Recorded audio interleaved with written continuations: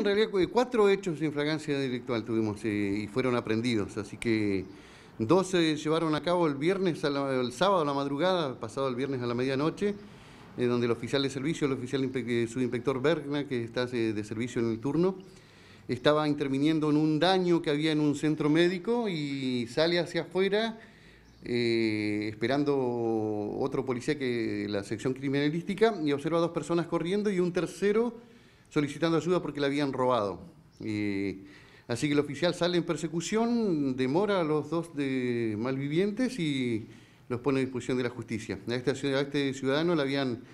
con un, mediante un destornillador, lo habían atacado, le habían lastimado una mano y le habían sustraído una, mochila y un celular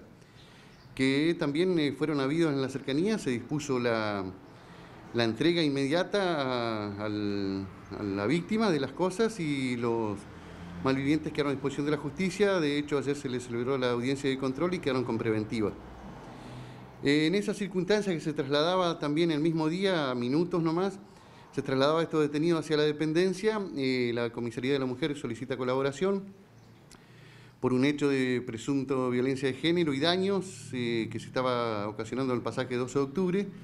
donde un sujeto fue a la casa de su ex pareja y, le ocasionó daños y, y violencia. Así que también fue aprendido, fue puesto a disposición de la justicia. Eh, dos horas o tres más después también se informa de una pelea eh, eh, acá en, en la zona céntrica, donde interviene personal de Canes en primera instancia y después toma intervención el personal de servicio de esta comisaría y se procede a la demora de tres personas por lesiones. Habían lesionado a dos masculinos más, quienes después de hacerse atender al hospital de, no desearon iniciar acciones legales.